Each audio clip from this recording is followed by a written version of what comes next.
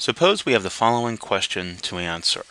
Given a normal distribution with mean 10 and standard deviation 1.7, what is the probability of obtaining a value of 12 or greater?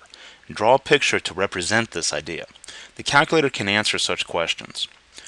So we're going to go under second and vars. We're going to highlight draw and we're going to select the very first command, shade norm. Now the shade norm command is structured as follows. You type in the lower bound where you want to start your shading, the upper bound where you want it to stop, then the mean of the normal de density, and then the standard deviation of the normal density. So we're going to go ahead and start by typing in our information. We're going to start shading at 12, and we're going to stop shading as far out as we can, and the calculators can store a number 1e to the 99 power. This is the largest number the calculator can store. Then the mean is 10 and the standard deviation is 1.7.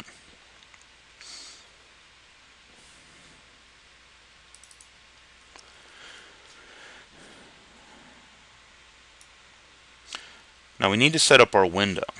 The shade norm command will not do this automatically. Using what we know about normal distributions, the center of the window should be about the center of the curve, in this case the mean, which is 10. We also know from the empirical rule that within three standard deviations we have about 99.7% of the data. So the x-min is going to be the mean minus 3 times the standard deviation. And the x-max is going to be the mean plus 3 times that standard deviation. The height of the curve may pose a little bit of a problem. Computing the height of this curve can be a complicated endeavor, but we're going to let the normal PDF command do it for us. And what this does is that the normal PDF evaluated at the mean is going to give us the highest point on the curve, and this is what we're going to use to set up our Y max. Since the, there will be information published about the results, you know, how much area is under the curve, we need to save some room at the bottom of the window as well so we can see this information and the curve clearly. So I'm going to set the y min to be negative 0.3. So we'll go under window. We'll go ahead and start typing in our information using the empirical rule.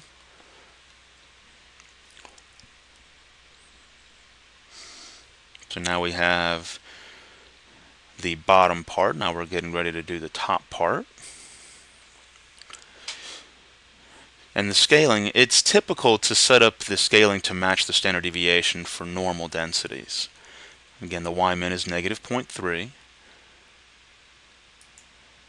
Now I'm going to use this very first command under second vars, the normal PDF command, to tell me the height of my curve. So I'm going to evaluate this at the mean. So I'm going to say normal PDF, the value of 10 with a mean of 10 and a standard deviation of 1.7. I'll set up my Y scaling to be 1 tenth. Now that we have our window set up, we can go ahead and run the shade norm command and in order to do this we're going to return to the home screen. So we'll go ahead and hit second mode. We'll rerun this command and here we see the normal curve and the information published below. The area, this 0.1197, is the shaded area over here.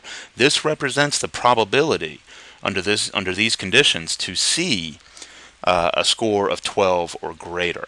And again, it says where did I start shading, the low value, where did I stop shading, the up value, if you will, at uh, as big a number the calculator can store. And this is how you can use the shade norm command on the TI-8384 calculators.